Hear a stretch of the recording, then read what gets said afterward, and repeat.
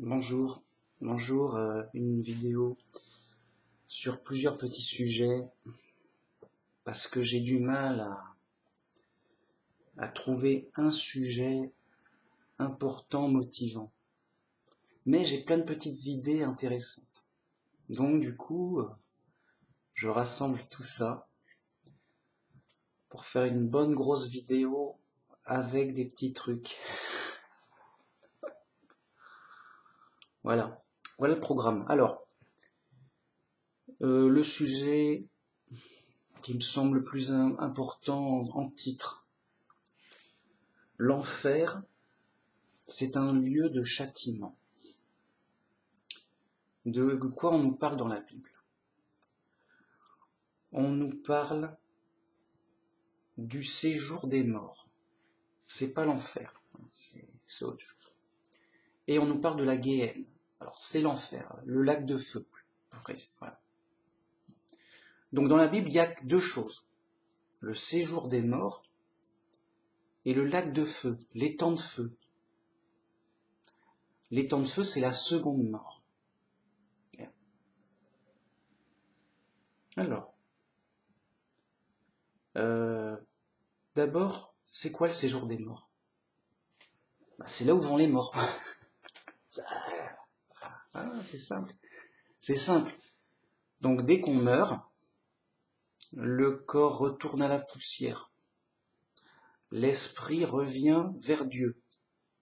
Et il va au séjour des morts.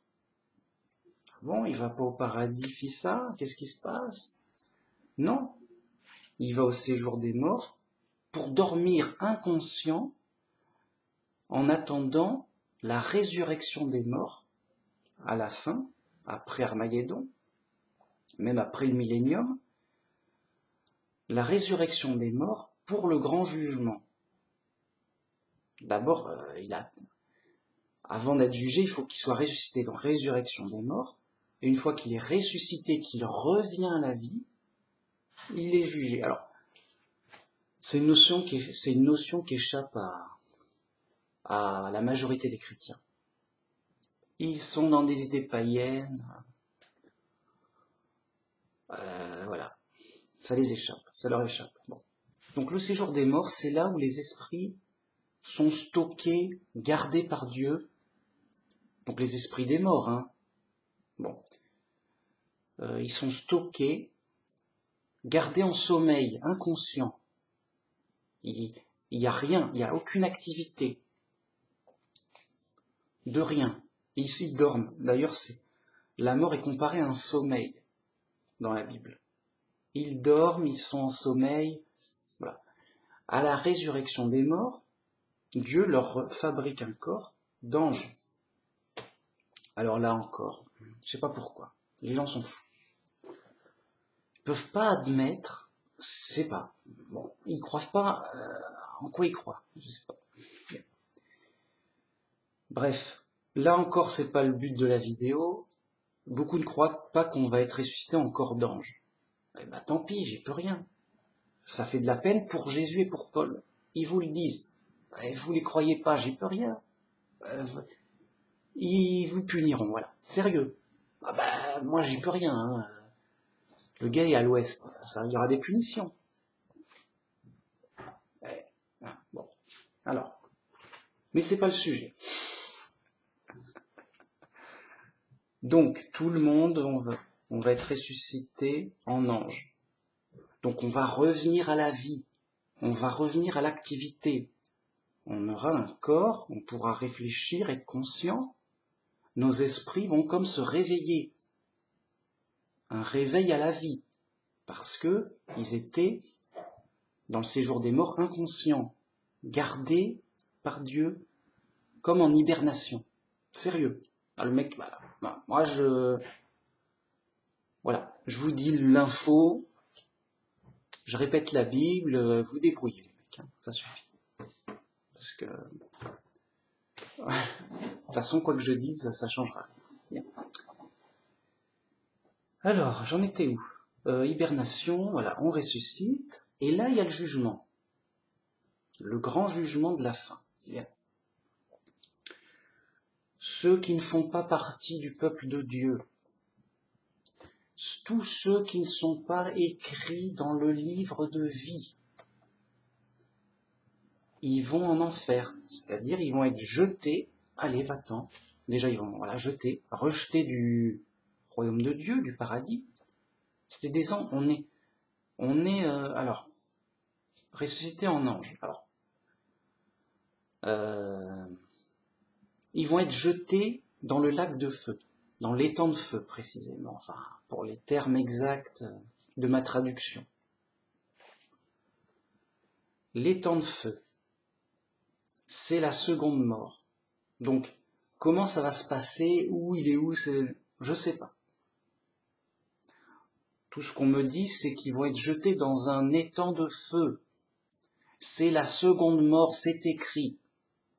Donc, je suis pas fou, pas comme les gens. Je, je vois bien que c'est évident. C'est pour être détruit. Ils vont être détruits d'une façon ou d'une autre. Ils vont être rejetés de la vie, ils n'auront pas la vie éternelle. Rejetés, détruits, dans un lieu de châtiment, de destruction. Ils vont pas euh, prendre un bain. Ah, le bain, il est, il est chaud là. Ah, on est bien ici. Ce lac, ce, cet étang, il est bien chaud. Ça, c'est une source d'eau chaude pour se détendre?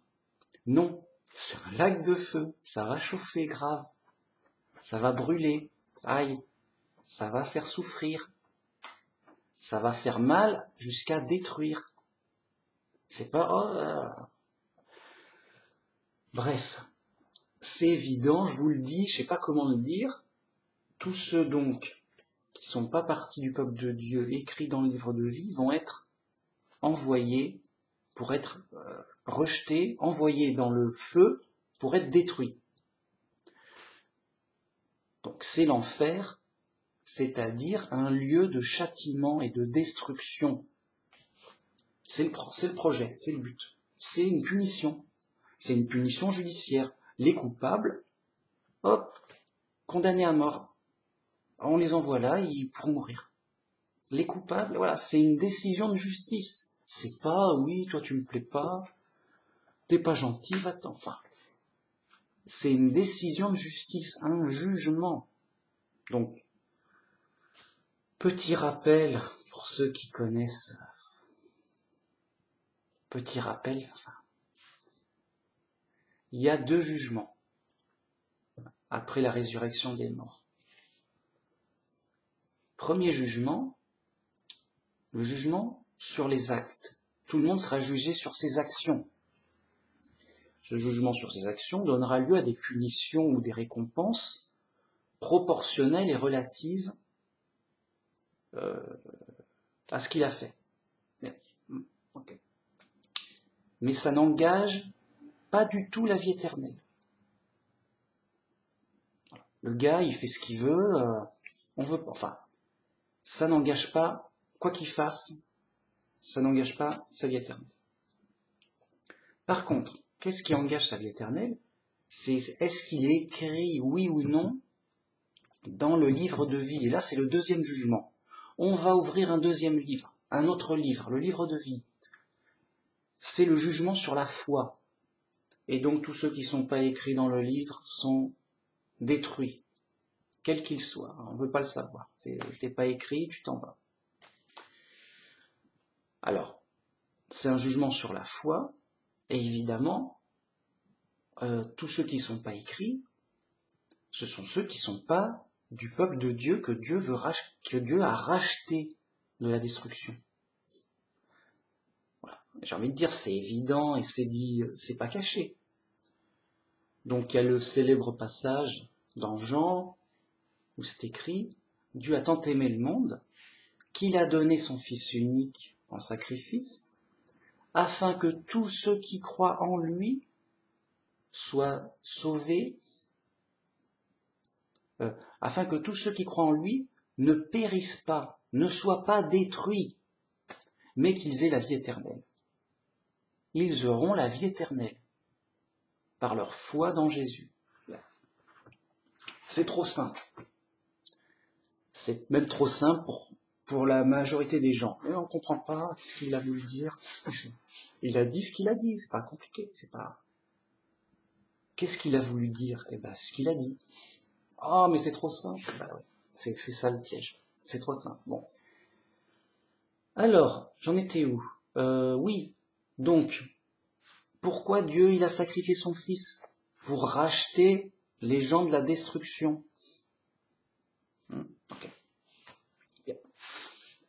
Donc, l'enfer, c'est là où on envoie les gens pour être détruits. Et pour être détruits complètement. Ils n'ont plus d'espoir euh, d'être ressuscités. Voilà. Ils sont détruits. Alors, je voulais aller plus loin. Parce que si je m'en tiens là, les gens vont pas comprendre. Déjà, ils comprennent rien. Ils comprennent pas ce qu'est simple. Donc, euh, ils vont... Alors, pourquoi tu parles Manu Max Ils vont rien comprendre? C'est, voilà. C'est, euh, je fais ça pour moi, je fais ça pour ceux qui pourront comprendre, éventuellement. Et pourtant, c'est simple à pleurer. Hein. On est dans du simple, à pleurer. Si les gens comprennent pas, c'est normal, ils sont fous. Tu comprends pas, t'es fou. Ou alors t'as pas assez étudié la chose. Mais elle est simple. Hein. Voilà. Alors, premièrement, on a un Dieu gentil et seuls nous avons un Dieu gentil, les autres non. Les autres, ils croient qu'ils ont un... Comment dire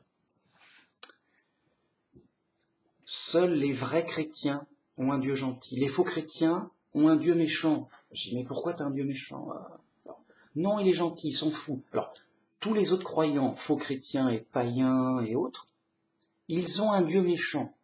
Mais ils nous disent tous qu'ils ont un Dieu gentil. Je dis, mais ils sont fous Oui, ils sont fous. Donc, nous qui avons un Dieu gentil, la situation normale d'origine c'est le paradis. Hmm. Dieu, il nous a pas fait, il nous a pas créé directement dans le malheur. Il dit voilà, t'es dans le malheur, débrouille-toi, c'est le jeu. Ok, tu as un Dieu méchant et cruel, mais pas moi. Ah non, ah bah, garde ton Dieu méchant. Garde ton Dieu méchant. Il, s'amuse à te faire souffrir. Il t'a mis dans la souffrance, tu vas mourir, garde-le. Si tu l'aimes, garde-le. Et c'est gratuit. Moi non. Moi non, moi avoir Dieu gentil. Toi comprendre? On ne sait pas. Les gens non. Ben, ah, ils sont fous. Alors, moi j'ai un Dieu gentil. C'est-à-dire qu'à l'origine, J'étais au paradis. Tout allait bien, j'étais avec Dieu. Impec. Comme l'exemple qui nous est donné d'Adam et Ève. À l'origine, Dieu crée Adam. Il est avec Dieu au paradis terrestre, tout va bien, yo. Oh, mais tu es un Dieu gentil, Adam. Qu'est-ce qu'il est gentil? Tout va bien pour toi. Mais qu'est-ce qui se passe? On n'a pas le même Dieu. Les, fous, ils comprennent pas. Ils comprennent pas, ils comprennent pas. Et les gens qui sont pas fous, ben, je comprends. C'est normal. C'est normal. Ah, c'est normal parce que j'ai un Dieu gentil, il a fait des choses bonnes et gentilles. Ah mince, t'as un Dieu gentil toi, mais qu'est-ce qui te prend?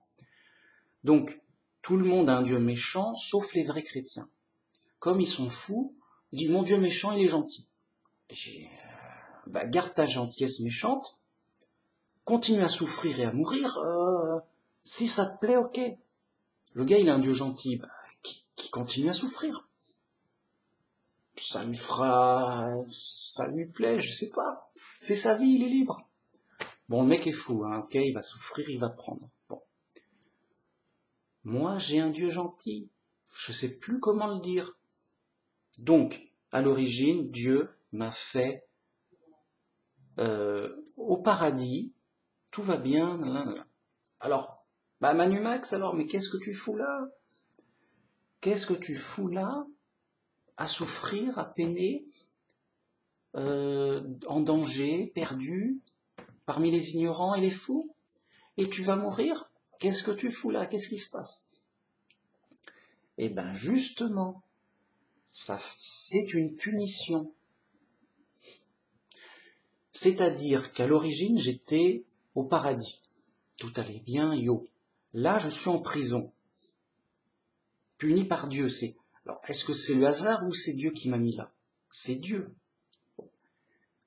Puis Dieu m'a mis là en prison, à souffrir, peiner tout. Donc la logique l'impose. Ah, sauf si on a un Dieu méchant. Si tu as un Dieu méchant, tout va bien, tu es au bon endroit, tout est impec, tu as tout compris, tu souffres, c'est normal. Tu souffres, c'est normal, tu vas mourir, c'est c'est normal. Tu as un Dieu méchant, tout est logique. Mais moi j'ai un Dieu gentil, donc c'est pas logique. Il y a une raison pour que ça rentre dans la logique. Toi comprendre? Bon. Donc, la logique l'impose. T'es peut-être fâché. les fous, les fous sont fâchés avec la logique. C'est pour ça qu'ils sont fous. Si tu n'es pas logique, tu es fou. J'y peux rien. C'est pas, moi j'invente rien. C'est, c'est, c'est la pure vérité. Alors oui, non, tu dis n'importe quoi, mais si t'es pas logique, t'es fou. C'est pas logique. Oh, c'est fou. Donc la logique, elle impose quoi? Mon Dieu gentil, il m'a mis en prison à souffrir. Pourquoi il n'est pas gentil? Qu'est-ce qui se passe? Il a changé d'avis? Il est devenu méchant? Non. Dieu, il change pas. C'est par décision de justice. J'ai dû mal agir et donc j'ai dû être détruit entièrement. C'est vrai que j'ai plus de mémoire, j'ai plus, je suis plus moi-même. Enfin, je suis plus la personne que j'étais. J'ai été remis à zéro. Je suis, euh, vous voyez, j'ai comme si, voilà, j'étais devenu amnésique et j'ai dû réapprendre les choses et réapprendre et me refaire une personnalité à partir de zéro. Pour donner une idée. Hein. Alors, j'étais au paradis, j'avais la vie éternelle, j'étais avec Dieu, tout allait bien, et forcément la logique l'impose. J'ai du mal agir et faire quelque chose de grave. Ce qui a nécessité de la part de Dieu un jugement et une décision de justice pour me détruire. Donc, il y a eu un jugement, je, on m'a envoyé dans le lac de feu pour être détruit. j'ai été détruit, euh, jadis, il y a longtemps, que j'en sais rien, mais il y a longtemps, fort, avant quoi, avant que je ne... Puis, totalement détruit, entre guillemets, entre guillemets, totalement détruit, euh, je suis rené à zéro, à neuf, en humain.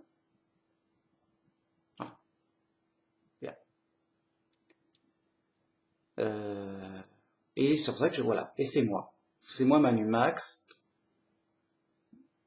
une nouvelle créature humaine. Mais un ignorant et un fou comme les autres. Je viens d'arriver là, et je suis dans cette prison humaine. J'aurais pu être un animal. Mais ma, en fonction de la faute, plus ou moins grave, eh bien, tu renais dans une prison et un lieu de châtiment adapté à tes fautes. Hmm. On va, bah. Et on est, et évidemment, rien n'est fait au hasard.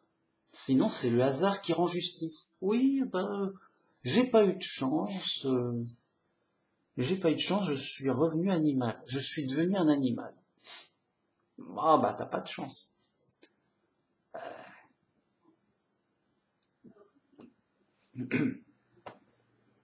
si c'est pas de chance, hein. Et donc, bah donc rien, tu meurs et tu, tu recommenceras euh, une prochaine fois si t'as plus de chance, quoi. Ah mince, c'est fou. Ouais, c'est fou. Bien. Alors, euh, oui, Jésus Je le prends en exemple. C'était donc la première créature de Dieu euh, pour la création de, de notre monde et tout ça. Donc Jésus, avant c'était, il avait une existence avant de naître sur terre. Il avait une existence au ciel, avec Dieu. C'était son fils. Bon. Là-dessus, tout le monde est d'accord. Même les fous, qui disent oui, il était Dieu et tout. Ok, admettons. De toute façon, il était Dieu, il l'est plus. Il, est, il a été détruit, il est mort. Ce qu'il était avant, il l'est plus. Il est devenu un être humain normal. Alors les fous disent non, non, non, euh, on fait ce qu'on veut avec notre folie. Il est totalement humain, mais il est totalement Dieu. Ah, et toi, tu es totalement fou. Ok? Non, non, non, je fais, je fais ce que je veux, ah, je m'en fous de la logique. Oui, bah, c'est ce que je disais, tu es totalement fou. Il n'est pas Dieu d'une poussière. dire, il n'a pas une poussière d'être Dieu.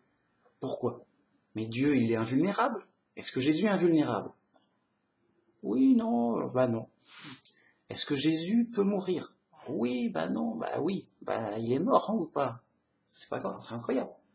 Si Jésus était Dieu, il serait tout puissant, omniscient, omniprésent, euh, tout puissant, éternel. Éternel, euh, il peut pas mourir, il peut pas rien, il peut pas naître, il peut pas mourir, il peut pas naître, il peut. Oui, mais non, bah va, allez, va Ici, c'est pour. Non, sérieux. Ici, c'est la logique qui parle, sinon on s'en sort. Les fous, ils ont toujours raison, oui, mais non, euh, je fais ce que je veux avec la réalité. Euh, de toute façon, je suis fou. Oui. Non. Jésus, avant, c'était un être céleste qui s'appelait la parole de Dieu. Alors c'était son nom, hein. c'était pas une, c'était pas ça, c'était pas du son parlé, hein. parce que les fous disent oui, bah c'est Dieu, il a parlé, puis pof, il a pris sa parole, il l'a mélangé, touillé, et ça a fait quelqu'un. Et, après, ça Les mecs sont fous. Bon, non. Donc, euh, le Fils de Dieu, il est mort au ciel pour pouvoir naître sur terre. Donc il a été totalement détruit. S'il n'avait pas été totalement détruit, il aurait gardé sa mémoire ou quelque chose. Il dit oui, il arrive, ok, yo, c'est moi Jésus, euh, je viens du ciel, yo, euh, qu'est-ce qui se passe? Non, c'était un enfant quelconque, il a dû apprendre à lire et à écrire, il a dû euh, apprendre tout court comme tout le monde, il savait rien de rien, comme tout le monde. Il a appris la religion euh, comme tout le monde, il croyait en Dieu, c'est bien. Sérieux. Il croyait en Dieu, il était inspiré, il se sentait bien, quoi. T'es bien inspiré, mais sérieux. Jésus croyait en Dieu. Après, il a reçu le Saint-Esprit. Et là, bon, bah, il a eu connaissance de la volonté de Dieu, de, tout. Et après, il a pu faire des miracles. Bon, là, c'est sérieux. Hmm? Ok, je vais passer à la suite. Ça sera, ça sera mieux. Non, mais c'est vrai que c'est un, délicat parce que les faux chrétiens n'ont pas l'habitude de parler de ce sujet et d'entendre ça. Je dis oui, qu'est-ce qui se passe? Euh, Moi j'ai un méchant Dieu, je comprends plus rien. Oui, bah parce que tu réfléchis pas. Alors euh, c'est pas un reproche, les gens sont fous, ils ont pas le temps, ils, ils réfléchissent pas ou mal. J'ai de la peine, j'y peux rien, moi. Euh, je leur ai... Donc j'explique, je donne les arguments, voilà, mon Dieu est gentil, donc ça suppose la logique veut que, et donc il y a ceci qui se met en place et on comprend les choses comme ça. Sinon, tu es un Dieu méchant et euh, les choses se mettent en place autrement. C'est la logique, j'y peux rien, c'est pas moi qui invente la logique. Si tu as un problème avec la logique, tu lui parles, pas moi. Tu parles à la réalité, tu engueules la réalité, voilà. Si t'es pas content, tu engueules la réalité, tu m'engueules pas moi. Moi, je, Je répète ce que la réalité, elle, dit, elle montre. Elle, elle, elle existe, elle est. C'est sérieux. Celui qui est contre la logique, il est contre Dieu. Parce que c'est Dieu qui a créé les choses comme elles fonctionnent logiquement, euh, la réalité, quoi. C'est grave, hein. c'est sérieux. On est chez les pros. je veux dire, moi, si, voilà, le mec qui est fou, bah, il est fou, hein, je, et il va vers le malheur. Ah bah, je, je vous parle de la réalité. Alors j'insiste, je suis lourd, mais voilà. C'est moi qui, c'est ma vidéo, je fais ce que je veux. Alors, j'en étais où? Oui. Euh, donc Manumax, il a été détruit. Enfin, non, mais quand j'existais avant, j'étais détruit, parce que j'étais puni, on m'a puni pour être un humain. Donc je suis là. Je suis qu'un simple humain quelconque, le mec quelconque. Mais voilà, euh, je m'interroge, je crois en Dieu, je m'intéresse à Dieu, je cherche la vérité. Ah, bah, je crois que la Bible est vraie, voilà. J'en suis là. C'est Manumax, euh, ma personne présente, humaine, un chrétien qui croit, un chrétien simple, qui croit simplement la Bible. Comme il y en a peu parce que les gens sont fous, qu'est-ce qui se passe? C'est comme ça. Les, les gens sont pas simples, ils sont fous. C'est un fait constaté, c'est pas je le constate. Les mecs sont fous, ils comprennent pas des choses simples.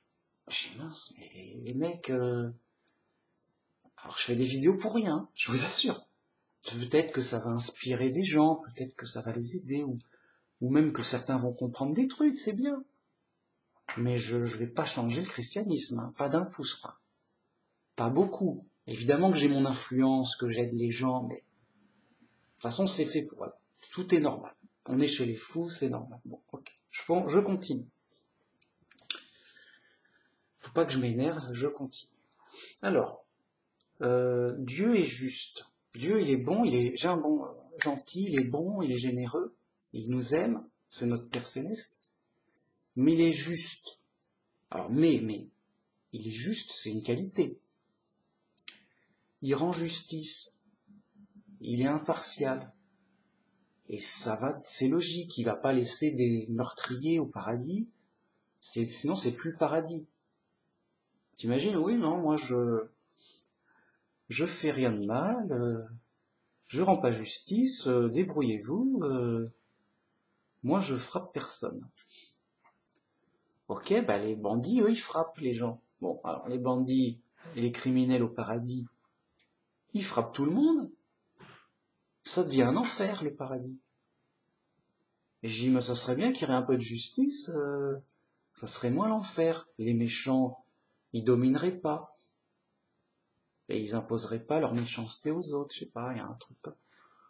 Ça serait mieux, non? Ah bah oui, ça serait mieux. Évidemment, et c'est pas moi qui l'ai inventé, c'est Dieu qui rend justice tout le temps. Si donc là, on est dans le malheur et dans l'injustice, tout cas relative, c'est parce qu'on est séparé de Dieu, on est en prison. Débrouillez-vous euh, là. Et donc c'est César qui rend justice. Bon, on va mettre un peu d'ordre, sinon c'est trop l'enfer ici. On se respecte, yo, obéissez à mes lois. C'est moi César. Bon. Dieu, il dit, euh, voilà, c'est votre prison, débrouillez-vous. Ah, ok. Donc, Dieu, il rend justice. Alors, quand, comment il va rendre justice? On l'a dit, à la fin, il y aura un grand jugement. Donc, chacun recevra selon ses actes. Bien. Donc, il n'y aura pas la même punition suivant le degré d'injustice. C'est évident.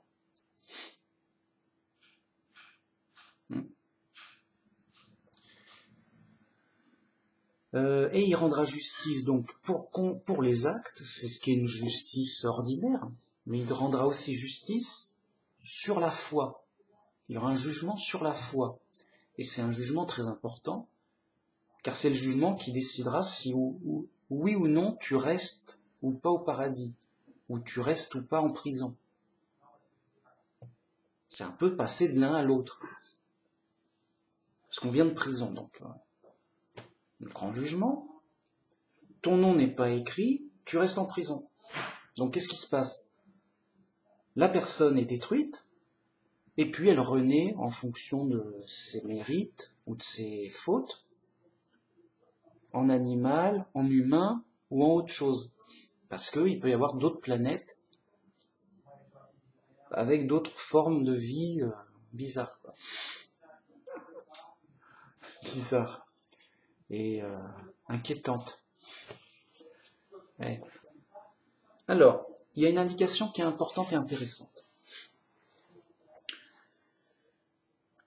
alors ça c'est dans Révélation à la fin, le diable est jeté donc pour son jugement, le diable est jeté dans l'étang de feu, là où se trouve la bête et le faux prophète. Parce qu'avant, donc après, euh, pour Armageddon là, donc Jésus se bat contre la, bête et le faux prophète. Puis il gagne et il les envoie au feu, c'est-à-dire à la destruction. Donc, quand Jésus gagne pour Armageddon, il envoie la bête et le faux prophète dans l'étang de feu, c'est-à-dire le lieu de la destruction. Et voilà, c'est fini, euh, c'est fini pour vous, quoi. Donc, la bête, c'est quoi? C'est les nations humaines, les gouvernements humains. Donc, les gouvernements humains, c'est fini. C'est moi maintenant, moi Jésus qui dirige. Et en effet, il va diriger pendant mille ans. Et après, c'est Dieu. Il rend, il, rend le, il donne le royaume à Dieu, son Père. Euh, donc, j'en étais où? La bête, c'est le les gouvernements humains. Donc, gouvernement humain détruit. Ok.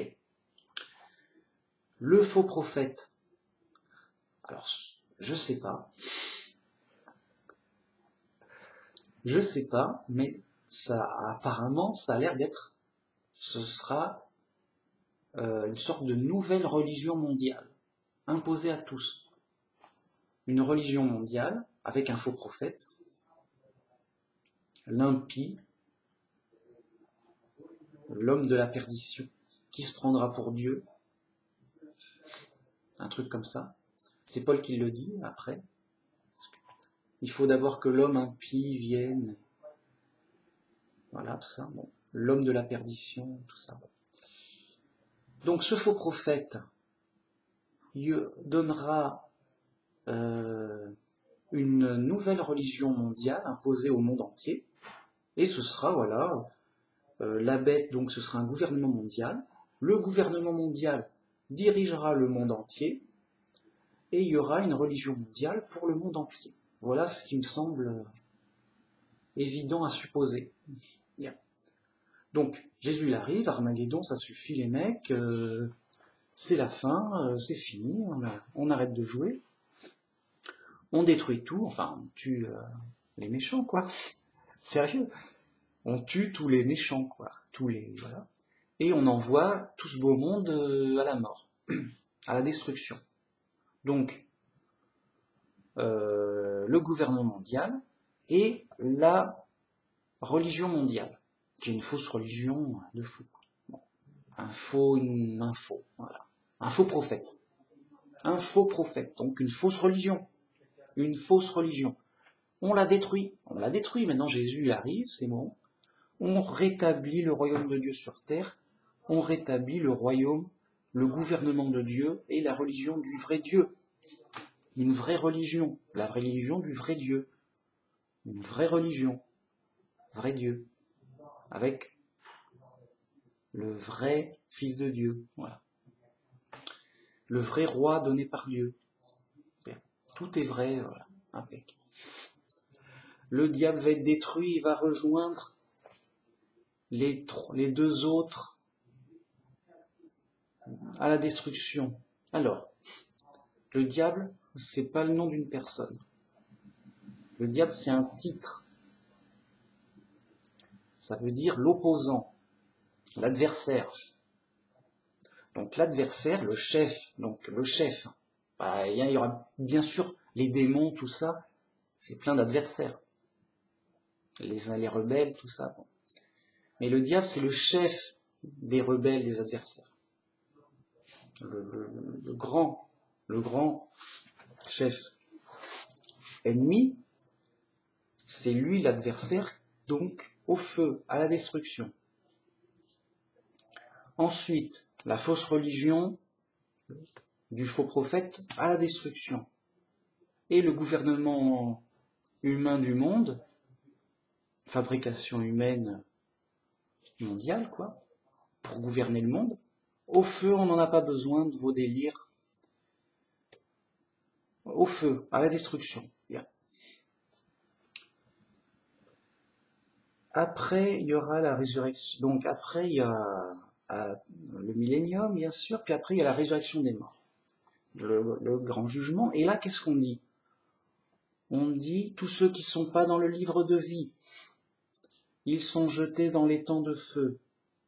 Et on a jeté le séjour des morts et la mort dedans, dans les temps de feu. Ah, c'est intéressant on a jeté le séjour des morts dans les temps de feu. Rappelez-vous, le séjour des morts, c'est le lieu où Dieu y stocke les morts. il stocke les, esprits des morts. En hibernation, en attente de la résurrection. Ils hibernent. Bouge pas. Attends, euh, c'est pour bientôt. Enfin, on te met de côté. Mais une fois que tout le monde est ressuscité, le séjour des morts est vide.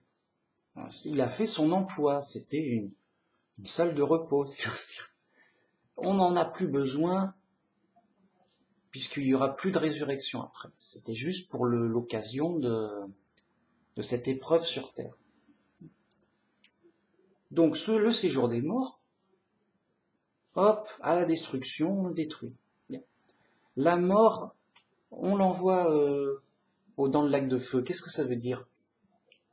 La mort, tu peux pas détruire la mort, ça n'a pas de sens. La mort, donc, elle est envoyée dans le dans l'étang de feu, c'est-à-dire que la mort fait partie de l'étang de feu. Elle est dedans, elle n'est pas dans le royaume de Dieu. C'est ça, c'est pour dire ça. Et donc, l'étang de feu, c'est la seconde mort. C'est là où on meurt. C'est là où on est détruit. Mort, destruction. C'est pareil. T'es mort, t'es détruit. T'es détruit, t'es mort. Hein c'est pas compliqué.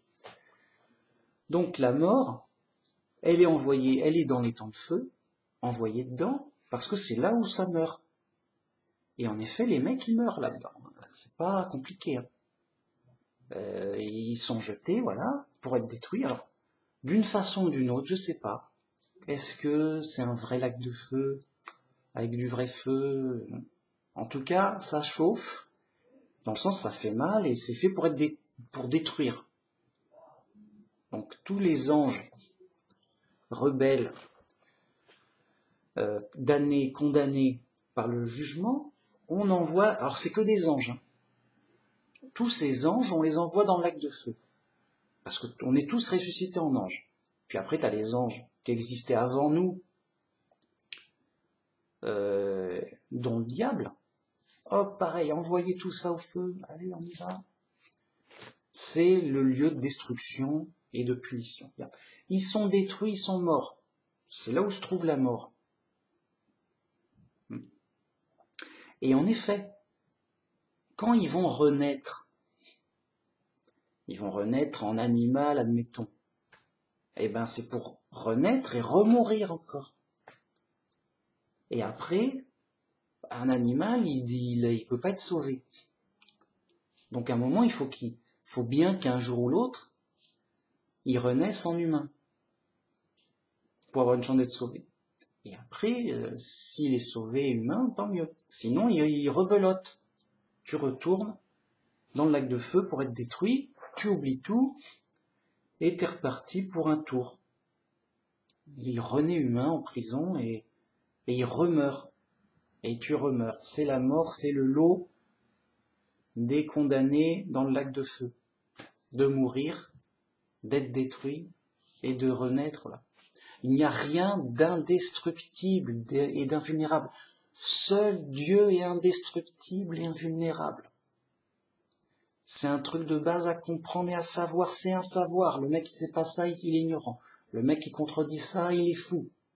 On est chez les pros. Attention les mecs, vite. Prenez de la logique, bouffez de la logique. Mais ici, on n'est pas là pour, euh, faire les oives. Alors, seul Dieu est indestructible.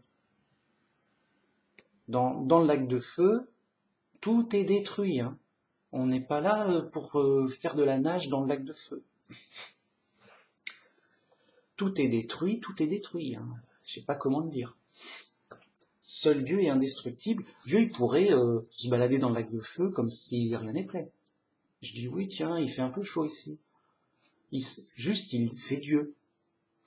Lui seul est indestructible, invulnérable, invincible. Je ne sais pas comment le dire. Et tout, tout, tout le reste, non. Les anges, n'importe Jésus, n'importe qui. Ben oui. Euh, ah, ben, voilà. ah j'ai oublié de le dire, on n'a qu'un seul Dieu. Ah, mince, ah, ça va pas plaire aux Trinitaires. Non, on a trois dieux, va-t'en. Mais va-t'en. On n'a qu'un seul Dieu. Bon, allez. C'est pas là pour une vidéo pour se fâcher avec les fous. Surtout que, ça me fatigue de me fâcher. Alors, oui. Alors on va me dire, oui, mais alors, c'est quoi ce jeu de d'être détruit, puis de renaître, euh, tout ça? Ben, C'est un lieu de châtiment, c'est une prison, c'est un châtiment, c'est une punition. Ils ont mal agi, ils sont punis. À cela, il faut ajouter, il faut ajouter des punitions euh, au paradis. Au paradis, c'est pas juste comme un bloc qui bouge pas, où tout va bien, tout le monde est heureux, tout est bien et on bouge pas. Non, on a notre libre arbitre. Les anges ont leur libre arbitre. Ils ont des activités, ils font plein de choses. Euh, et ils doivent obéir à Dieu, et Dieu est leur roi, etc. Et comme euh, des gens bon, peuvent être plus ou moins fous de, il peut y avoir des rébellions, ou des erreurs, admettons, ou des problèmes. Bon. Eh ben, il y a des, une justice, il y a des règlements, il y a, voilà, il y a des punitions. On dit, voilà, mais il faut pas, euh, voilà, faut pas faire ça, faut faire ça, machin. Et donc, c'est pour ça qu'on a des démons et des anges rebelles, et le diable, c'est des gens qui ont des anges donc, qui ont, été rendus fous par l'orgueil, des mauvais comportements, des, mauvaises choses, et en tout cas des, euh, mauvaises choses, enfin voilà, qui, se sont mis à se rebeller secrètement dans un premier temps contre Dieu, ou en tout cas, euh, parce que leur jugement euh, voilà, le diable il agit en secret par la ruse pour pas être euh, condamné quoi. Il essaie de déjouer la justice. Mais à la fin, il se fera euh, avoir quoi. Bon. Bref, tout ça pour dire que au, au paradis, donc, il y a de l'ordre, il y a une discipline, quoi. On fait pas n'importe quoi, sinon c'est plus paradis. Les gens sont pas des robots, les anges c'est pas des robots, c'est des êtres vivants, des êtres vivants, angéliques, célestes, avec un esprit euh, céleste et comment dire, et un libre arbitre. Et donc, euh, faire des mauvais choix ou des mauvaises, euh, sans des mauvaises pensées, des mauvais sentiments d'un injuste, dans le sens euh, se rebeller en secret, en cachette, en disant ouais Dieu il s'est trompé, euh, c'est un méchant Dieu. Voilà, on a un méchant Dieu. Oh mince, qu'est-ce qui se passe? On a un méchant Dieu, on va essayer de, bah, de le combattre ou au moins euh, de partir ailleurs parce que voilà, on va. C'est un tyran. Et déjà là, tous les tous les faux croyants ont déjà un, méchant Dieu, mais ils l'ignorent. À un moment, les mecs sont fous, hein. à un moment, ça va, donner des mauvais résultats. Il hein. faut être conscient de ça. Bien. Bref, ils se rebellent, ils se pervertissent, ils sont corrompus, ils, ils délirent, ils, sont fous. Ils, finissent par faire des injustices, et après punition. Bam, qu'est-ce que tu me fais là? Bam. Punition et euh, si c'est trop grave, euh, détruit. Et après, ils renaissent humains ou autres. Et c'est écrit dans la Bible à Ézéchiel, tu étais un chérubin aux ailes déployées, tu étais parfait en beauté et en sagesse, mais de l'injustice a été trouvée en toi, je te jette à terre, ange, ange, chérubin, machin. Et il parle, c'est euh, un oracle sur, euh, sur le roi de Tyr. Et tous les rois verront ta ruine sur terre et seront stupéfaits. Donc, c'est Dieu qui dit que le roi de Tyr cet humain, était un ange qui a mal agi malgré euh, ses qualités, qui les a perdues. Tu as ruiné ta sagesse à cause de l'abondance de ton commerce. Tu as été aveuglé par l'éclat de ta beauté. Tu t'es donc l'orgueil, euh, il a ruiné sa sagesse, il est devenu fou. Et de l'injustice a été trouvée chez toi. Punition, euh, tu vas être détruit, je te détruis à jamais je te mets à terre, va-t'en. Il détruit, et il renaît humain. Prophétie, enfin, oracle du prophète, c'était ce roi de l'ange déchu est devenu ce roi.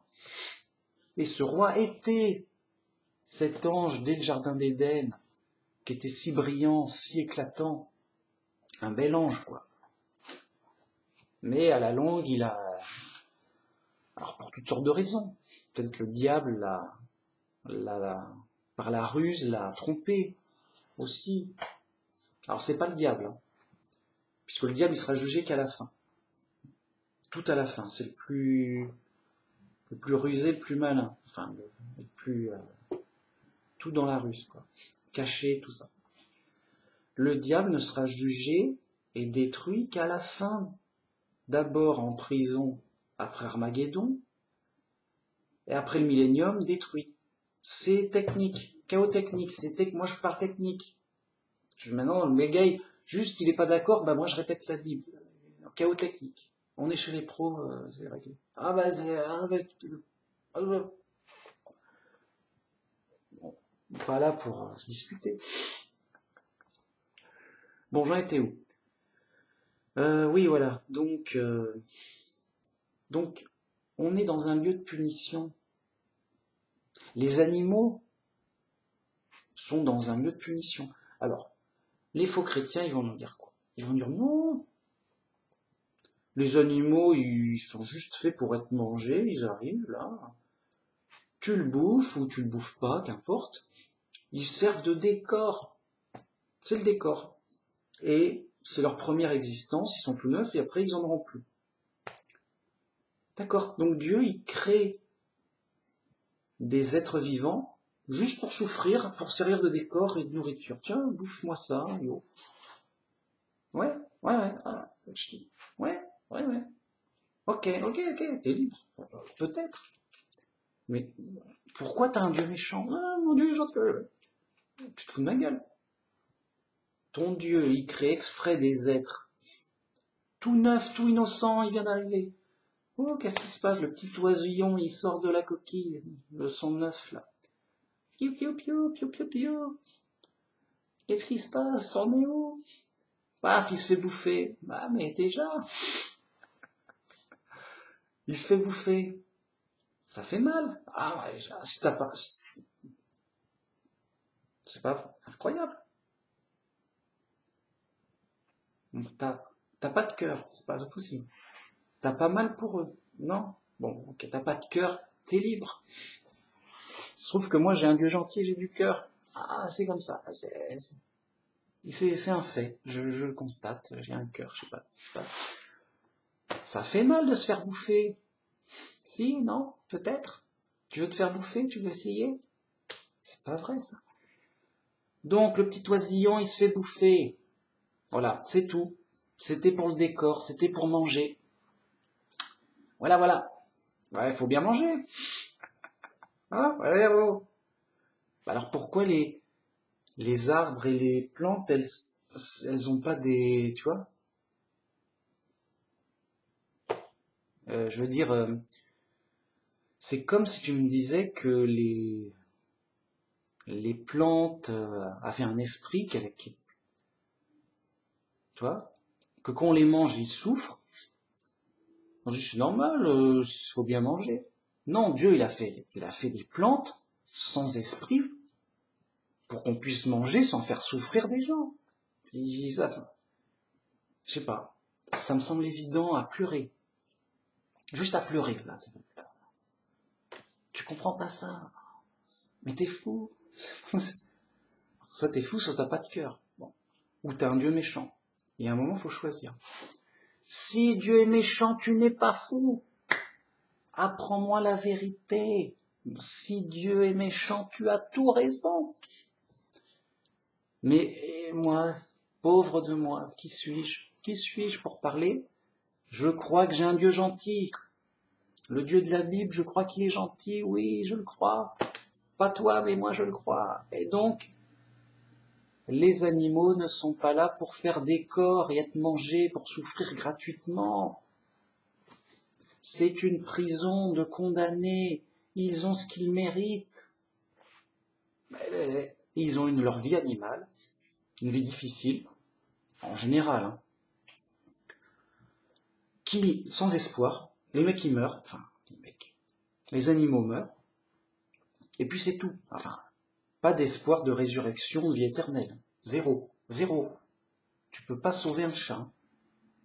Tu fais ce que tu veux, tu lui mets une croix, nana, tu le... Non, il n'est pas sauvé. Ah mince, dur. Il va forcément renaître animal ou humain pour avoir une chance de ressortir de prison. C'est ou alors t'as un dieu méchant, mais voilà, il y a un moment, faut choisir, mec. Ah, voilà, voilà. Donc, chacun, voilà, je peux me tromper. Moi, je crois que Dieu est gentil, et après, la, logique m'impose. Donc, peut-être que je me trompe, Dieu est méchant, mais la logique impose. Voilà. Voilà, bah écoute, const... ouvre tes petits yeux, oh, les animaux, ils souffrent ou pas? Et les humains, ils souffrent ou pas? Alors, pourquoi ils souffrent tous ces innocents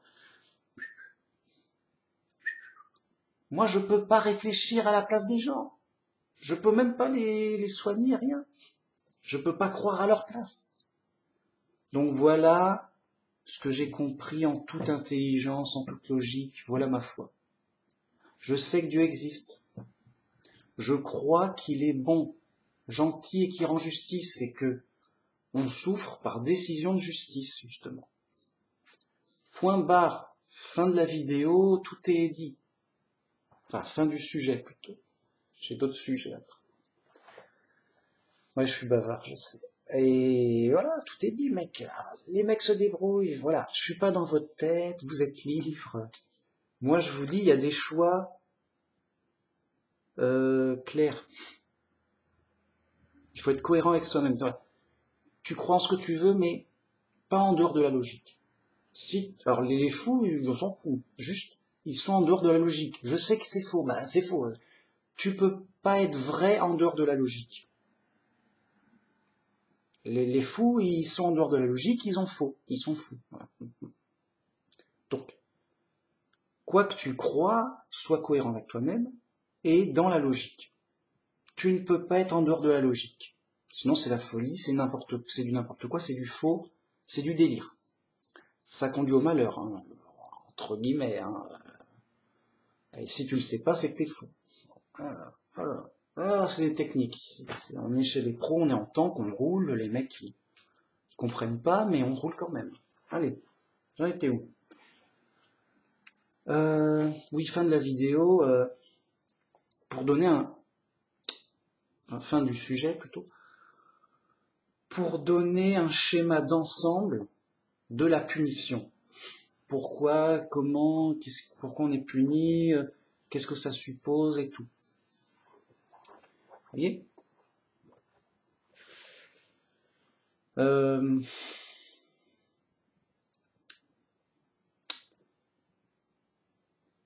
Et donc, euh, on est dans la punition. On est humain, on a perdu la mémoire, on est chez les fous, on va mourir, on est perdu, on souffre, on est mal, on, est en danger. Voilà. Voilà, voilà. Donc, euh, punition, lieu de châtiment.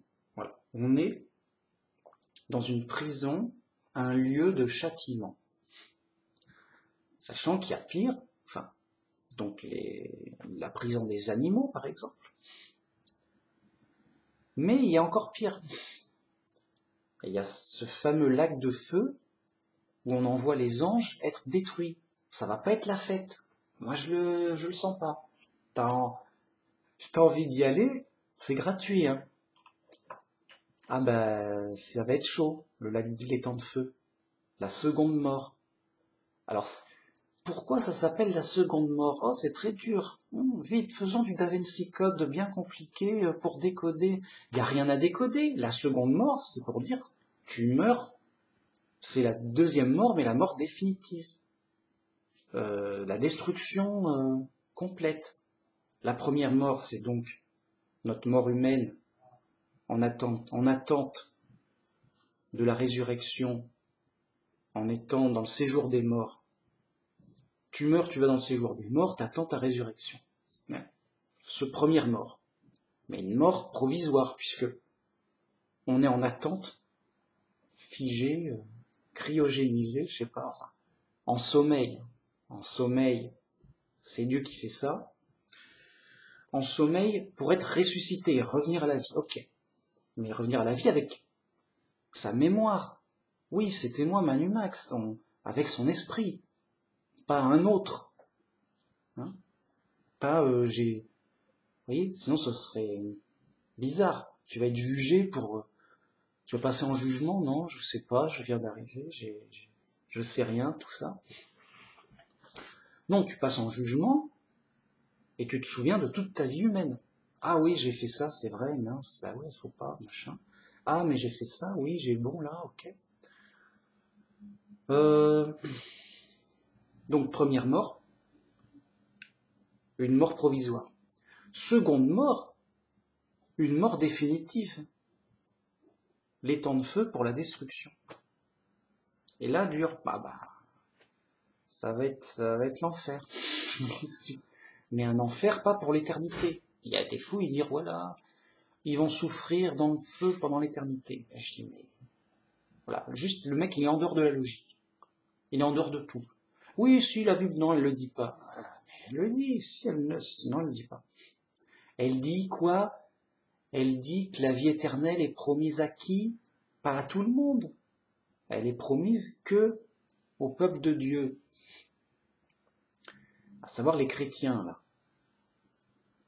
Et donc, les autres, non. Ils vont pas voir la vie éternelle, même en enfer. C'est, c'est, donc, voilà. C'est, puis la logique l'impose après. Non, tu peux pas détruire quelque chose éternellement. À un moment, euh, ça n'a pas de sens. Oui, mais je fais ce que je veux. Bah oui, mais t'es fou. Bon, alors. Donc voilà, je vous incite à revenir à la logique simple, à la cohérence, à la réalité. Juste, juste ça, juste euh, fais-toi un cadeau, euh, apprends la réalité, quoi. Euh, tu cherches la vérité. La vérité, c'est la réalité logique, cohérente, qui est vraie, quoi. Je sais pas comment le dire. Bon. Et donc, reste dans la réalité et la, la vérité logique. Sinon, t'es fou. Tu, te prends pour n'importe quoi, bah, tu peux dire tout et son contraire. on est dans l'erreur, le faux, l'usage de faux, tout est faux, enfin, dans les ténèbres, voilà. Bien, sors des ténèbres, va dans la lumière de la vérité.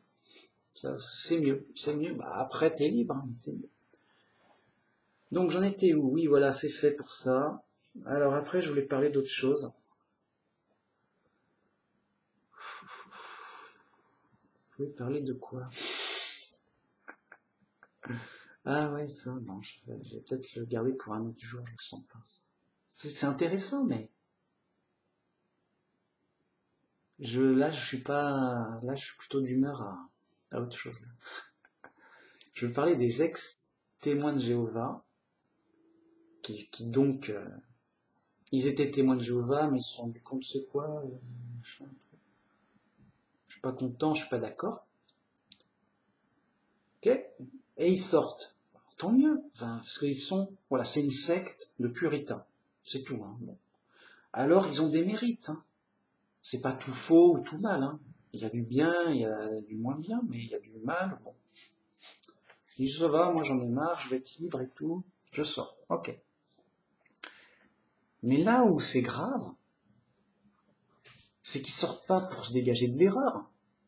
Ils sortent pour accumuler de l'erreur. Alors c'est toujours étonnant, agaçant et ça fait de la peine, mais bon. Les mecs sont perdus, ils sont fous. Quoi. Alors on ne sait pas si on doit être content ou pas content pour eux, je sais pas. ça dépend des gens. Après c'est très variable sur les situations. Bon, bref. Pourquoi je dis ça? En général, alors beaucoup de témoins de Jéhovah. Alors les pires, c'est ceux qui deviennent athées. tu deviens athée T'étais pas témoin? Ouais, il y en a marre et tout. C'est grave. Là, c'est grave. Là, c'est le top du grave. Le mec est détruit. Bon, écoute, attends. Tu aimes la mort? Tu vas en bouffer, t'inquiète pas. Ouais, voilà, t'as pas des... Et puis le gars, c'est comme ça. Ça fait de la peine. Bon, il a perdu la foi, il a perdu l'espérance. Il a plus d'espoir. Il va mourir et puis... Et puis c'est tout. Enfin, et puis c'est tout. Hein. Façon de parler. Et puis il va revivre pour remourir euh, jusqu'à ce qu'il en ait suffisamment de la mort. Il en, veut encore un peu, bon, ok. C'est gratuit. Bon, après il y a des témoins qui deviennent trinitaires. Ça c'est choquant. Ça. Et je dis, mais attends, mais ça te sert à... T'as appris quoi dans ta vie? Ça te sert à quoi d'étudier la Bible si c'est pour sortir de la vérité Pour tomber dans l'erreur? Je veux dire, alors, c'est peut-être aussi, faut, faut, se rendre compte qu'ils sont dans une situation difficile, dans une secte très puritaine, euh, ça les a traumatisés, peut-être voilà, en étant trop traumatisés par les témoins, ils ont tendance à vouloir tout rejeter. Alors, euh, ce qui est sûr et évident, c'est qu'ils diront jamais, ils appelleront jamais le vrai Dieu Jéhovah ça leur rappelle trop, ouais, c'est les seuls qui disent ça, non. Alors ton Dieu à quel nom? Je veux. Ouais, il est dans le rejet. Et il rejette le bébé avec l'eau du bain. Il rejette la vérité avec euh, le reste. Alors, et c'est à pleurer, c'est dommage. Alors t'as appris quoi? J'ai appris, euh, je veux pas le savoir. Vous voyez? Comme quoi ils avaient, bah voilà, ils étaient, euh, comment dire? Ça fait de la peine.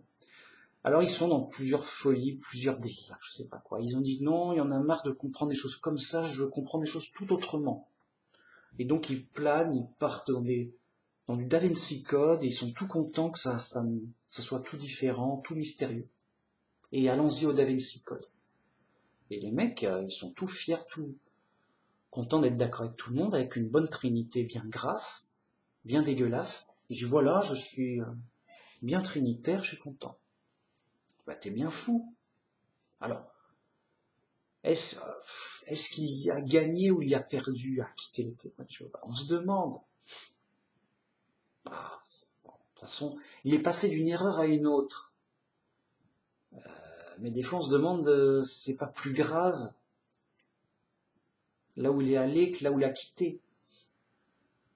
C'est comme s'il était dans une, maison pourrie et qu'il est allé dans une, il a déménagé, ça suffit, cette maison est pourrie, et il est allé dans une autre maison différente, mais un, un peu plus pourrie. Bon, ça, te fera du, des vacances, du changement, mais c'est pitoyable, je vous le dis tout de suite.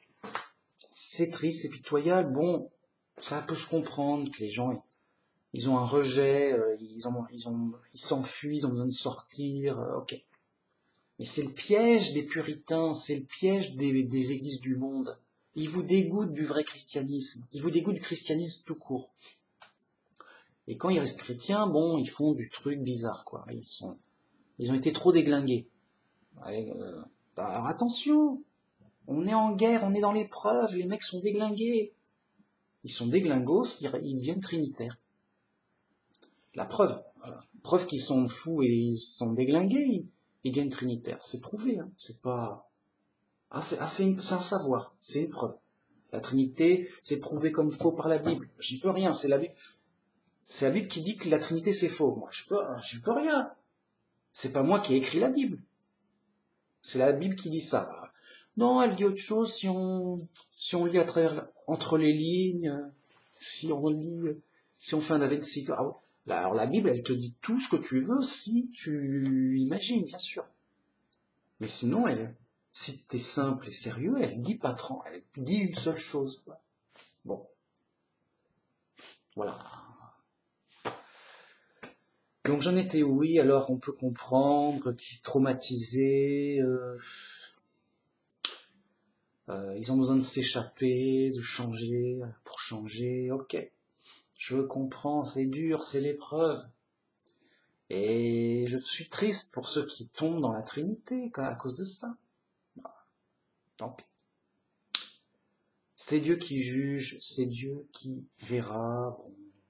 c'est l'épreuve. Peu trouvent le chemin étroit. Voyez?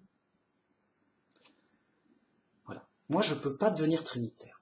Pourquoi? Parce que j'ai lu la Bible et je sais ce qu'elle dit et je sais ce qu'elle dit pas. Donc, la Bible ne dit ne dit pas et n'explique pas la Trinité. J'avais même fait un, sujet euh, sur un forum que j'avais appelé Jésus explique enfin la Trinité.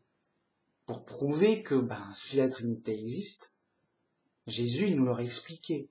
Mais puisque c'est pas le cas, qu'est-ce que tu vas inventer la Trinité Bref, j'ai compris. Jésus n'explique pas la Trinité, et encore moins les apôtres. Euh, et donc c'était une, une provocation de dire Jésus explique enfin la Trinité, pour dire où est-ce qu'il nous l'explique?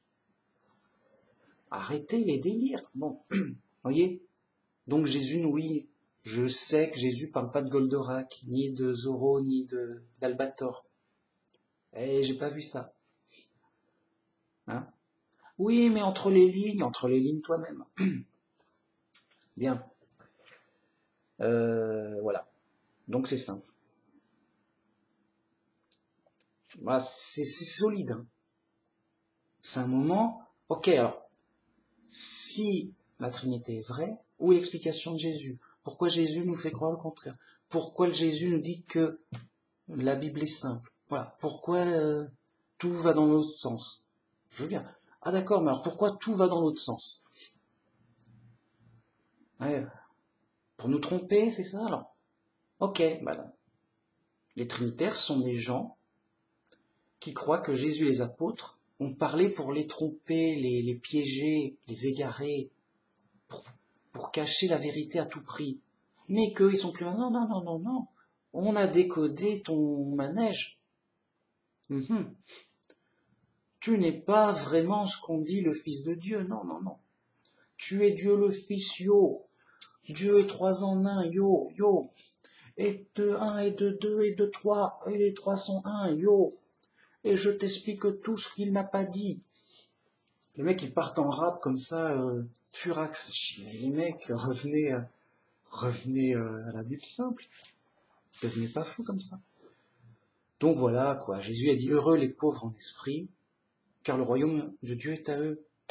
Et il est compliqué, bah écoute, allez, allez ailleurs. Il n'est pas à vous, le royaume de Dieu. Vous cherchez compliqué, ok.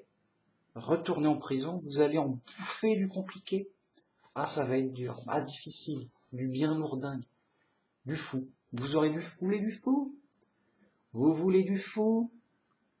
On va vous envoyer en prison chez les fous, vous allez voir. On a des bons fous champions. On a de la folie de haut niveau. Vous allez adorer. Déjà, il y a un bon échantillon, là. Y a... Tu veux, t'as. Si tu cherches un fou, tu le trouves. Hein. Moi, je prends une vidéo au hasard sur YouTube, j'ai des bonnes chances. Hein. Sérieux. Un chrétien, au hasard, qui, nous raconte la Bible euh, sur YouTube. Bon, bah, le mec est fou, à, moins qu'on tombe sur une mes vidéos. Mais vous avez compris, ils sont, il n'y a que ça, quoi. Ils sont nombreux. Euh, non, ici, on est chez les pros, c'est sérieux, tout. Bon. Alors, rien n'y fait, rien à dire. Tout débat sur la Trinité, c'est un dialogue avec un fou. Tu lui dis un plus 1 est égal à 2, euh, quand même. Non, non, un plus 1 est égal à 3. Non, mais tu peux pas dire ça, les maths et tout, la logique fait que... Le mec, non, je veux rien savoir. Ta faute, tu comprends rien. Rien n'y fait. Mais t'es fou. non, c'est toi qui es fou. Ah. C'est un dialogue, un dialogue de fou. Enfin, c'est pas un dialogue entre deux fous. C'est que c'est un dialogue avec un fou. Ouais. Cherchez le. Juste, ça ne sert à rien de parler. C'est triste à pleurer, ça fait peur, c'est choquant. Mais ça sert à rien de parler. Ça ne sert à rien de parler à un faux chrétien trinitaire quelconque. C'est Dieu qui va le guider, c'est Dieu qui va essayer de le réparer, de le guérir de sa folie. Et un jour peut-être. Mais il faut d'abord qu'il soit guéri de sa folie avant de comprendre. Tant qu'il est fou, euh, il est fou. Rien n'y fait. Voilà, voilà. Euh, ah, j'ai pas envie d'arrêter maintenant, là. Mais j'ai pas de sujet euh, vraiment sous la main, là. Là, je... Ah, si, un petit sujet de fin, là. Vraiment. Alors, on est en prison, Dieu et tout. Souvent, alors, voilà. Moi, j'ai mon style, voilà. Alors, je suis un homme. Ouais, c'est vrai. Donc, vous voyez, j'ai mon style homme. Ouais, on est les mecs, on est les pros. Un peu, voilà, un peu... Euh, hein.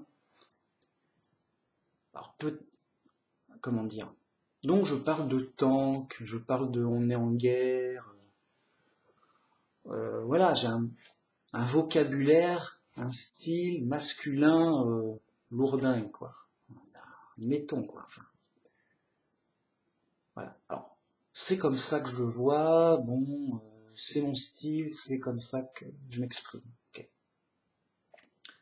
J'aurais été une femme, j'aurais peut-être fait tout autrement avec d'autres comparaisons, machin, euh, etc. Mais pourquoi je dis ça? Parce que, donc vous voyez, en dehors de l'image, des exemples imagés, il faut aller au fond des choses. Moi je dis, nous sommes des vrais chrétiens en tank. On est armé, on est solide.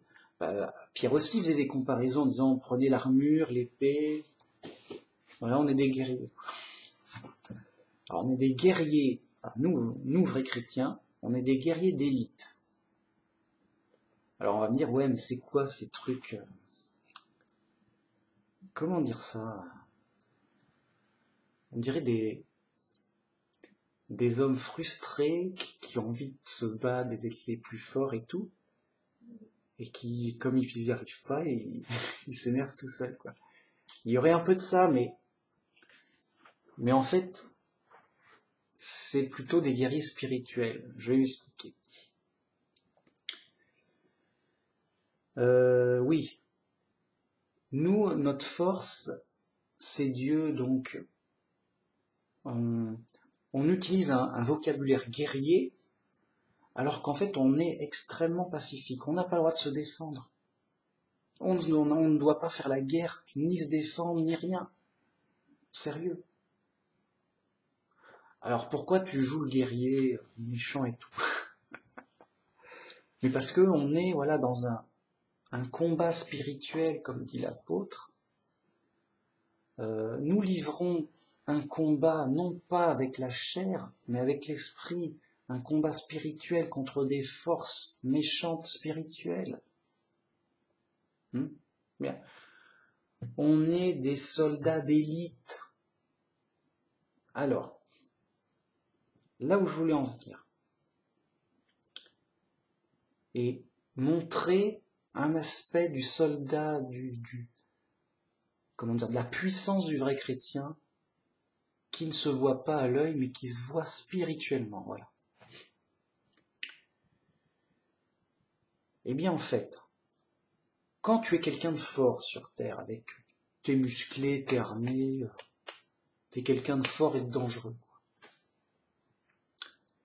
eh ben, t'as tendance à chercher le danger, à montrer ta force ou à vouloir montrer ta force, et à te valoriser en montrant ta force, voilà, mes ennemis sont où? Si j'ai un ennemi, je lui casse la gueule, je le tue. Voilà. Mais en fait, c'est dangereux et c'est il y a mieux que faire ça. Il y a, y a, y a plus fort, ça que je veux dire. C'est-à-dire que c'est la loi du plus fort. Et donc, tout humain, tout, homme a envie d'être le plus fort. Voilà. Les hommes, ils ont envie d'être les plus forts, et les femmes, elles ont envie d'être les plus belles, pour avoir un pouvoir différent, mais un pouvoir sur le monde. C'est la gloire du monde. Amour, gloire et beauté, euh, force, puissance et argent. Et montrer sa force, sa puissance.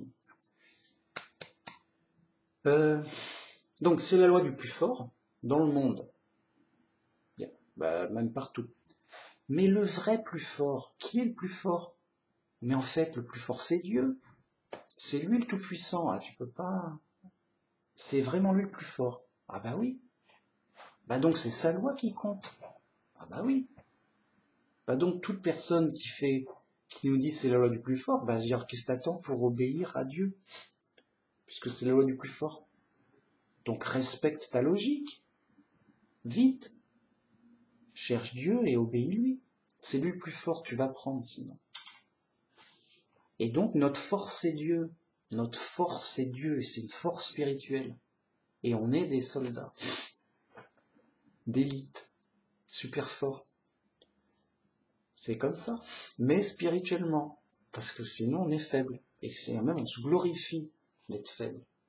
Ici, puisqu'il faut se glorifier, je me glorifierai d'être faible comme disait Paul. Et il disait, c'est quand je suis faible que je suis fort. Et en effet, je suis faible pour le monde, et je suis fort spirituellement. Voilà. Euh, et donc c'est ça les, les guerriers, les soldats d'élite. C'est-à-dire que c'est mieux que des soldats du monde les soldats du monde, ils sont en danger.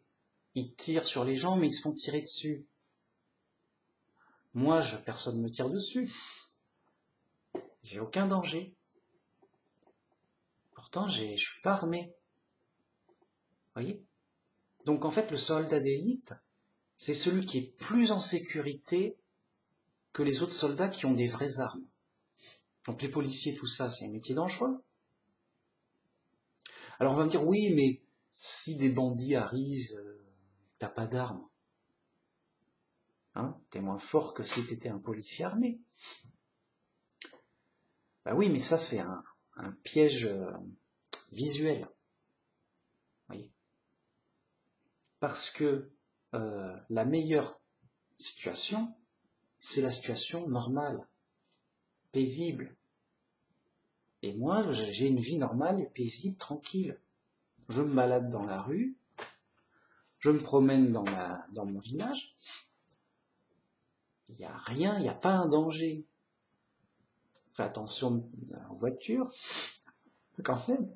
Mais voilà, seul danger, c'est vraiment... euh, Il n'y a pas de chauffard non plus. Et, euh, seul danger, ce serait vraiment un accident euh, étonnant, quoi.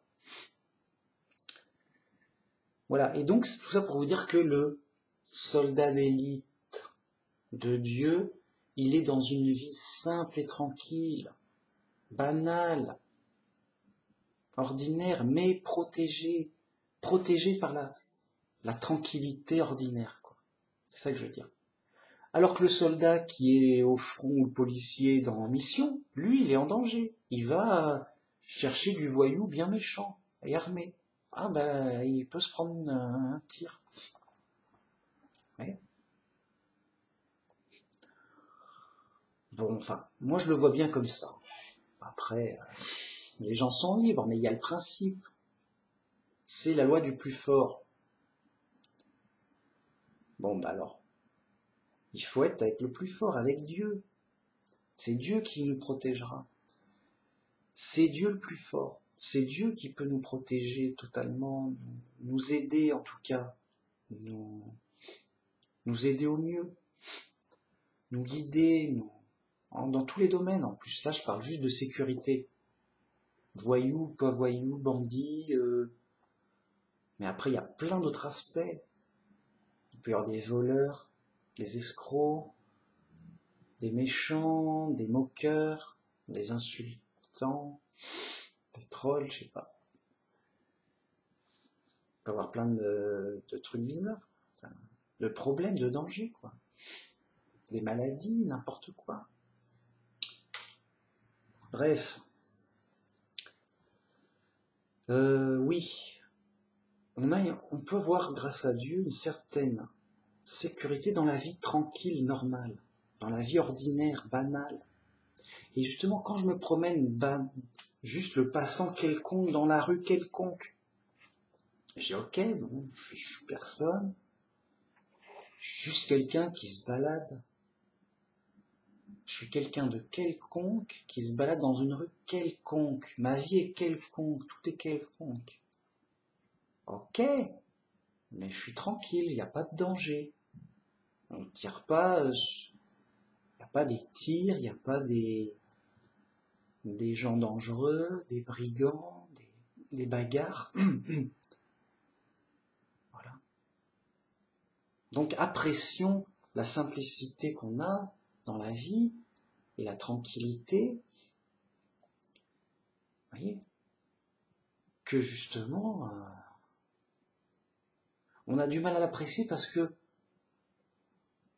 on a l'impression que c'est trop ordinaire, que on l'a pas mérité. On aurait préféré être un soldat qui tue bien ses ennemis, puis après il est tranquille. Il dit ah, ah je suis en paix, j'ai tué tous mes ennemis, j'ai mérité d'être tranquille. J'ai bien tué mes ennemis.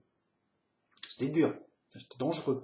Donc je suis un héros, je me balade dans ma rue quelconque, euh, tranquille, mais je l'ai mérité, je suis un héros, j'ai tué mes ennemis. Et non, mais nous, on a pareil sans, sans tuer ses ennemis. C'est-à-dire, on n'a pas d'ennemis à tuer. C'est mieux. Vous voyez? Est-ce que tu as le choix? Est-ce que tu as le choix d'être tranquille parce que tu as, as, tué tes ennemis méchants, dangereux? Ou d'être tranquille, bah juste euh, sans rien faire, tu es tranquille de base. Il n'y a pas de danger, donc tu es tranquille. Bah, mieux vaut ne pas avoir de d'obstacles et d'épreuves et difficultés dures et dangereuses pour être tranquille. On va être tranquille normalement, naturellement, je oui.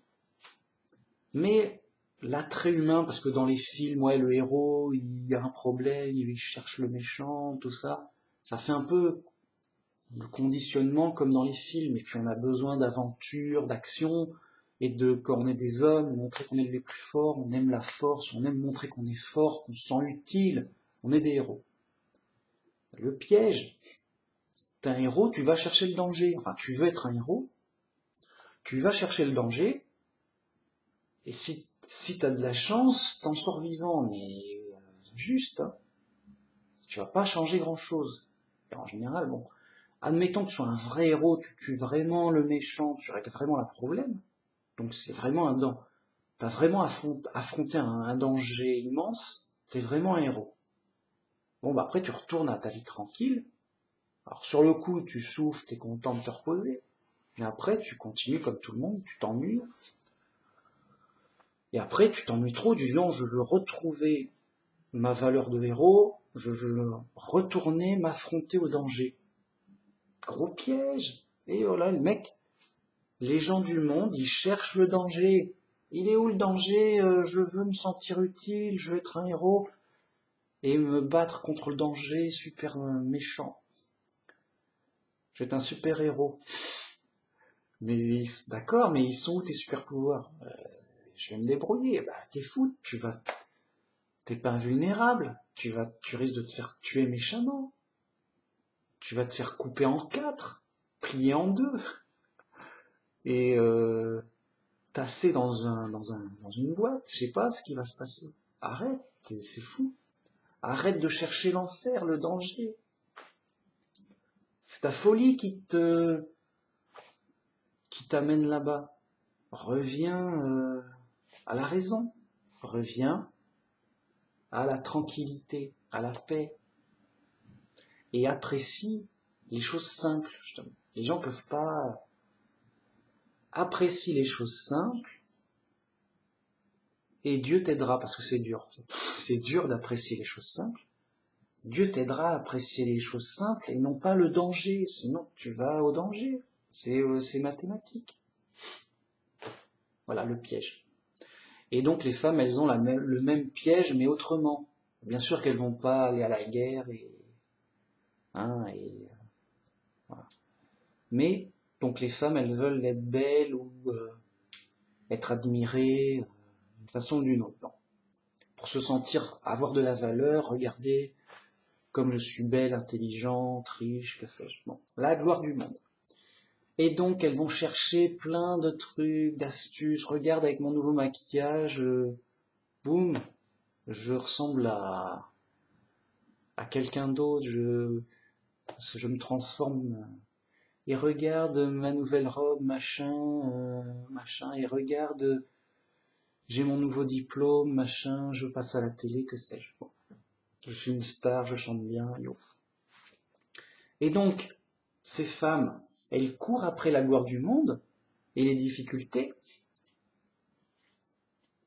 à leur risque et péril, mais pour d'autres euh, dangers, d'autres tourments, le tourment de, l'angoisse, de, de la concurrence, de, du stress, de la... Tout ça, des méchancetés, que sais-je. Truc. Euh, ça les déglingue, les pauvres dames ça les déglingue et elles deviennent accros à... Comme tout le monde, mais accros à la gloire du monde, quoi. Mais d'une autre façon, c'est ça que je veux dire. Donc, en gros, l'homme, il veut être un héros comme Rambo et musclé, armé, fort et tout, pour caricaturer. Hein. Et la femme, elle veut être Barbie, comme un fil de fer, jolie euh, blonde aux yeux bleus. Oui, mais bon, bah, c'est de la drogue pour être malheureux. Voilà. C'est un piège, voilà. C'est un piège. Ne va pas, c'est un piège. Alors tu peux être tranquille, chez toi, tranquillou, banal, juste tranquille, normal, petit, quelconque, euh, ordinaire et, et simple, quoi. À manger du pain et à boire du thé, regarder la télé, je sais pas, des trucs simples, quoi. Tu te balades, tu manges une pomme, tu manges... Mange la pomme, mange la pomme. Non, non, non, elle est bonne. Mange la pomme. Oui, oui, oui. Oh, merci, madame. Alors, voilà tout ça pour dire qu'il faut se faire attention euh, à nos, à nos tendances, nos... on est tous attirés par la gloire du monde, c'est normal. Attention, piège, hop, Dieu, il nous forme, il nous aide pour que, euh, justement, on puisse apprécier notre vie simple. Parce qu'on est dans l'épreuve, c'est dur, mais il nous aide dans la vie simple. Il nous aide à, être joyeux et apprécié dans, dans l'ordinaire, dans la simplicité, dans la banalité. Le vrai chrétien, il est comme Paul, il est banal quelconque. C'est un mec qui passe dans la rue. Paul, il était pas... Euh, c'était juste un, un mec qui marche à pied. Voilà, c'est... Il avait Rien de particulier, rien de la gloire du monde, ça que je veux dire. Il n'était pas en, en, carrosse, en chariot, euh, avec des habits euh, de prêtre ou de prophète euh, particuliers, bizarres, visibles. Regardez, j'ai ma, j'ai mon chapeau comme le pape et ou les évêques. Il était, c'était quelqu'un d'ordinaire qui parlait aux gens pour la bonne nouvelle et qui motivait et, et dirigeait les églises euh, des païens, les églises euh, pour le Christ. Voilà. Et donc, euh, il a montré sa force spirituelle, Paul. Force d'esprit. Soldat d'élite. Bien. voilà, voilà. C'est tout ce que je voulais dire. Euh, c'est ok.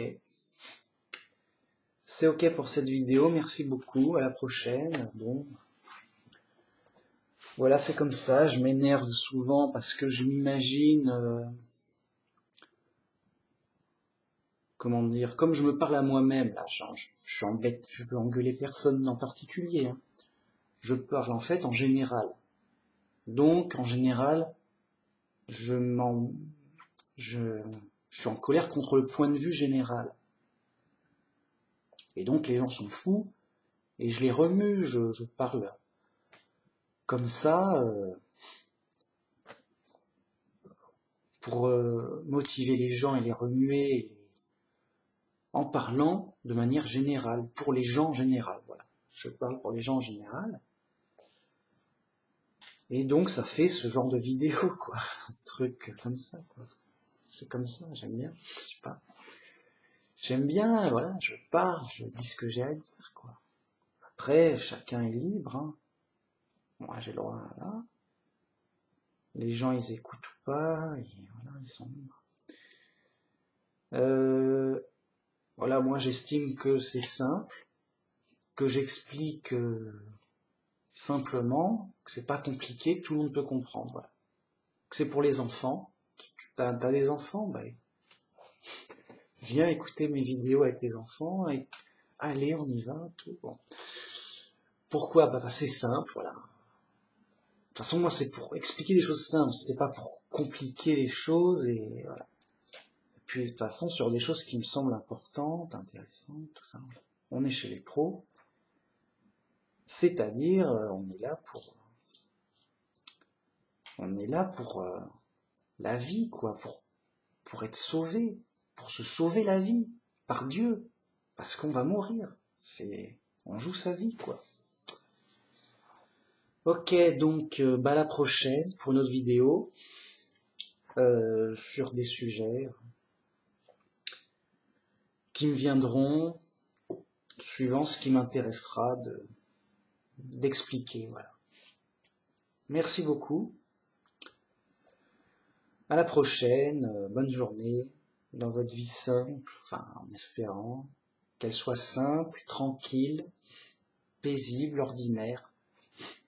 Difficile, mais voyez, ça, enfin un niveau normal, quoi. Enfin un niveau, euh, c'est pas l'enfer, quoi. C'est difficile, mais c'est pas l'enfer. Voilà. Et donc, euh, c'est l'épreuve, et, et euh, c'est pour encourager dans l'épreuve tout chrétien et autres qui veulent aller résolument sur le chemin étroit, euh, selon mes explications. Hein. Et puis s'ils sont pas d'accord, bah, qu'ils aillent sur le chemin étroit avec leur, euh, leur compréhension, mais qu'ils y aillent. quoi. C'est Dieu qui inspire. C'est Dieu qui instruit. Et il faut, voilà. Mais euh, mon but et mes explications, c'est pour les chrétiens qui veulent aller résolument sur le chemin étroit, en tank, avec les pros, en mode blindé, en mode sérieux, en mode euh, en mode sérieux quoi, en mode euh, on est en guerre et on y va quoi. Parce que de toute façon on, risque sa vie, on joue sa vie de toute façon. Voilà. Merci beaucoup, à la prochaine, au revoir.